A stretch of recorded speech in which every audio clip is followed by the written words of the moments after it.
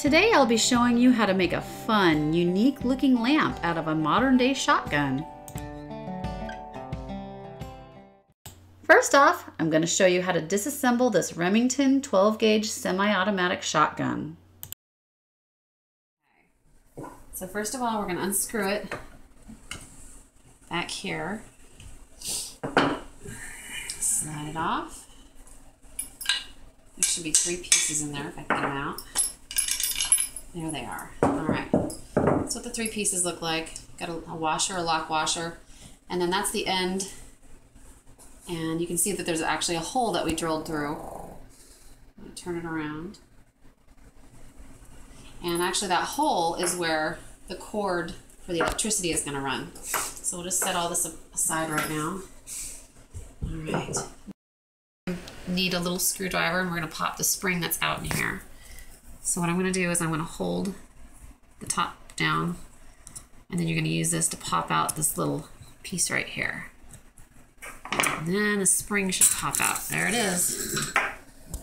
You just set that aside. We're not going to need, we're not going to need that anymore because actually the uh, electric cord is going to run through here. Third, we have to unscrew the top. There it goes. There it goes.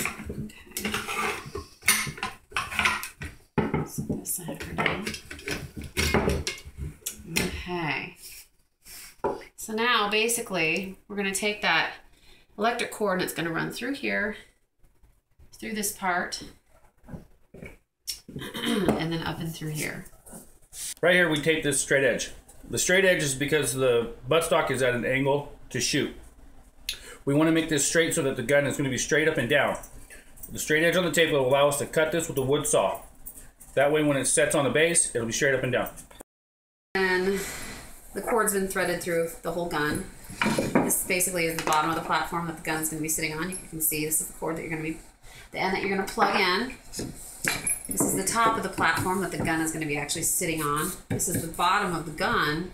And if you remember that little nut with the hole in it, that's going to slide right in here with those two little washers and get screwed in. the cord runs through here, into here. This is where that spring was that we popped out. Cord runs through this little mechanism. This actually moves around a little bit. Well, it was moving around, so you'll have to kind of fiddle with it to get it past that. Out the top right here, and then into the barrel to where it comes out the end. And that's where the light's gonna be all together now. Looks pretty good, actually. It's starting to look like a lamp.